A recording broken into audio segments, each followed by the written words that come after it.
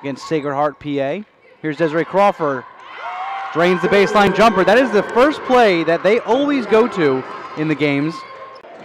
Had 16 points against FDU on February 1st. And there is Katie Shepard for three. The Pioneers have taken their first lead of the game, 3 2.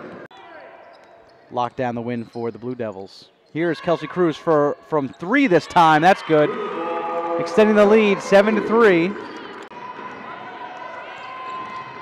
Williams driving, hands off, another handoff under the rim. Some easy ball movement, and Etienne will end up with Samantha Andrade is, to, is used to break it up, and Oyakhilome a little long, but uh, but Cruz with the offensive rebound and the nice touch under the basket.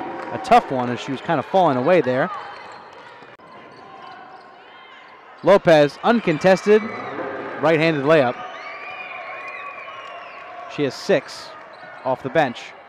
Trying to just trying to force the issue right there. Shepard, wide open is Hannah Kimmel, and she, uh, not Kimmel, my mistake, that is Caitlin Abella, the freshman Florida of Southeastern Massachusetts, right off the bench and draining a three.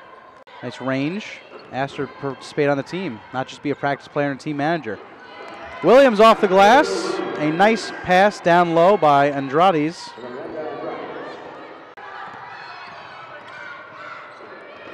FD has a chance to take the lead. Thomas for three. It's good. And FDU jumps out to a two point lead, their first lead since midway through the first half, 35 33, and a timeout taken by Sacred Heart with 16 and a half to go. Joanna Lopez has been beast mode down low. Not a lot of defensive effort, and Kelsey Cruz is feeling it from three. 12 seconds, here's Kelsey Cruz. Dishes off to Andrades for three. That's good. Rattles home, and Cinella wants a timeout. Wants to get his defense in order. But FDU is retaking the lead, and Williams just kind of bouldering in there. And Kelsey Cruz with the jumper. Oh, perfect. Two more points for the sophomore. She's got 30. Big rebound for Anastasia Williams. Brianna Thomas for three. Good. Brings the lead back up to five. And FDU needed that. Nobody else. I mean, Oyakhilome can come in as well. She has two fouls as that